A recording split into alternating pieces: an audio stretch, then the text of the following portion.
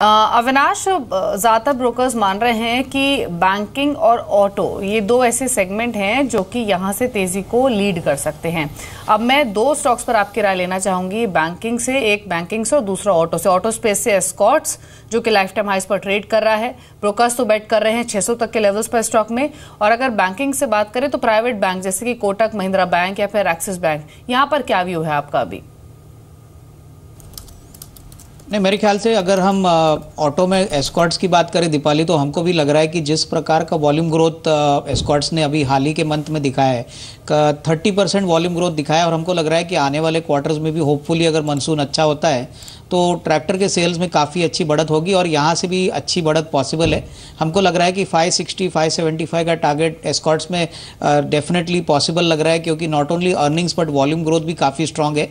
और रही बात प्राइवेट सेक्टर बैंक्स में तो हमने पहले ही कहा था कि कोटक बैंक डेफिनेटली एक अच्छा risk reward bet private sector banks में दिखता है। एक्सिस बैंक में भी हमको लग रहा है कि कई यू नो हद हद तक जो एनपीए का प्रॉब्लम है या एसेट क्वालिटी का प्रॉब्लम है वो शेयर के प्राइस में ऑलरेडी डिस्काउंट हो चुका है। लेकिन अगर रिस्क रिवॉर्ड की बात करें तो हमको लग रहा है कि कोटक बैंक में आने वाले दो तीन क्वार्टर्स काफ़ी शानदार रहेंगे और ये शायद एक्सिस बैंक से यू नो अच्छा आउट परफॉर्मेंस दिखा सकता है। ठीक है। जिस पे का ध्यान रखना है। निजी बैंकों पे आपको रिकमेंडेशन मिल रही है। कोटेक आईसीआईसीआई ये कुछ एक ऐसे बैंक है जो आज शायद आपको ज़्यादा अच्छा प्ले करके दिखेंगे। एस्कॉर्ट्स का जैसे चार्ट है ना, ठीक वैसे ही ऑयल इंडिया का भी चार्ट था। उसमें खबर भी आ गई है कि उसका एक बाय बैक होने वाला है 20 तारीख को। आप ऑयल इंडिया का देखिए लास्ट टाइम का। हालाँकि पुराने डाटा आज डिस्कस करने का दिन ही नहीं है, क्योंकि सब कुछ आज बदला हुआ दिखेगा। सारे शेयर्स खासकर इंडेक्स के शेयर्स तो पूरी तरह से आपको बदले हुए दिखेंगे। लेकिन फिर भी ऑयल इंडिया कितना आपको सही लग रहा है अभिजीत? क्योंकि इसके चार्ट मैंने भी देखे। 330 335 पे ना बार बार फिसल जाता था। सडनली उस भी उस लेवल पे बंद हुआ। बाद में न्यूज़ स्लो आया और आज शायद गैप भी मिल जाएगा। अब कहाँ जाएगा ये share Well, Nimbi, uh, immediate, intermediate time frame से so, so जो चार्ट है it's fairly okay short term एक रेंज में अटका हुआ है। 350 का रेजिस्टेंस 320 का सपोर्ट गैप अप के साथ अगर खुलता है ना अगर 350 का ब्रेकआउट मिलके सस्टेन होता है आई सेंस द स्टॉक में मोमेंटम और पार्टिसिपेशन काफ़ी स्ट्रॉन्ग है which can take it to the level of around 370 375 on the upside अगर आप इनके इसके मंथली चार्ज दे, दे, देखोगे you will notice that it has been on a great run since the month of March 2016. So I think on the last 12 months, 11 months, it has posted a positive monthly close. थोड़े stretch है from from from a monthly point of view so I I sense अगर 370 375 का एक range आता है that is where it will face quite stiff resistance जी। कुछ pockets जहाँ पर हमने पिछले हफ़्ते लगातार मुनाफा वसूली देखी और आज शायद परफॉर्म करते हुए नज़र आए, वो हो सकते हैं मेटल्स दो वजह इन पर बात करने की। पहला तो एक फिच की रिपोर्ट आई है स्टील कंपनीज़ पर, जिसमें उन्होंने कहा है कि चाइना के बाद भारत स्टील का दूसरे बड़ा, दूसरा बड़ा प्रोड्यूसर कंट्री होगा जल्द ही, और अगले 12 से 18 महीनों में भारत दूसरी बड़ी स्टील उत्पादन करने वाली करने वाली कंट्री होगी। और एक खबर यह भी है कि इंटरनेशनल मार्केट में जो कांस्टेंट करेक्शन हम मेटल प्राइसेस में देख रहे थे, वहाँ पर रिकवरी दिखी है स्पेशली शंघाई इंडेक्स पर अगर आप देखें तो जिंक एल्यूमिनियम कॉपर इनमें एक रिकवरी दिखी है। निचले स्तरों से दो ढाई परसेंट तीन परसेंट ये दो दिन में बढ़े भी हैं।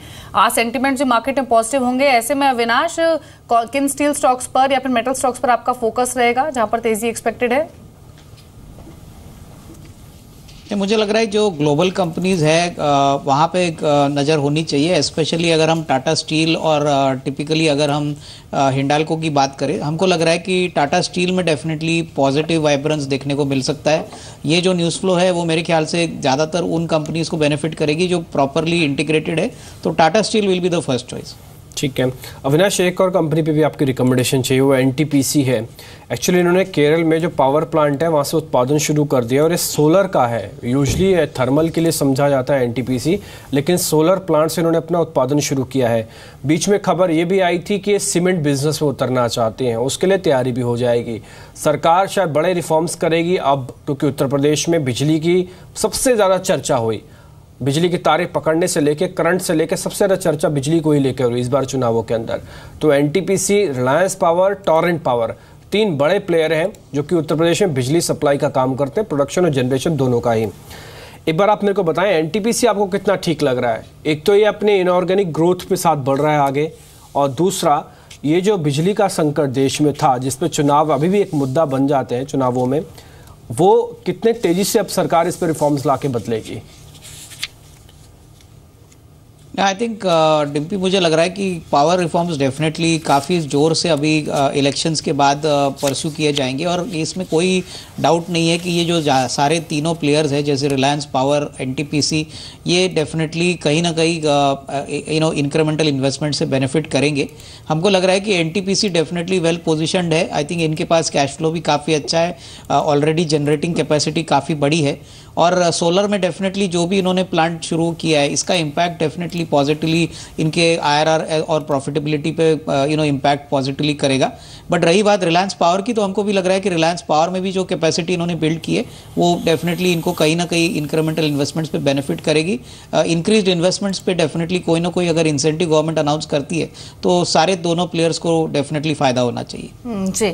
अविनाश ये टेलीकॉम स्पेस से आइडिया पर बैठ करेंगे क्या इस हफ़्ते के लिए? क्योंकि फिर से कुछ ऐसी रिपोर्ट कहा जा रहा है कि इस हफ़्ते, यानी इस रनिंग वीक में वोडाफोन और आइडिया के मर्जर की फॉर्मल अनाउंसमेंट हो सकती है और मर्ज एंटिटी में दोनों कंपनियाँ इक्वल स्टेक पार्टनर्स होंगी और 21 बिलियन यूरो में ये पूरी डील हो सकती है। ऑलरेडी इस मर्जर की खबर की वजह से एक अच्छा बाउंस हमने देखा है आइडिया में 100 के ऊपर। अभी भी ये ट्रेड कर रहा है। रडार पर रखेंगे क्या स्टॉक को।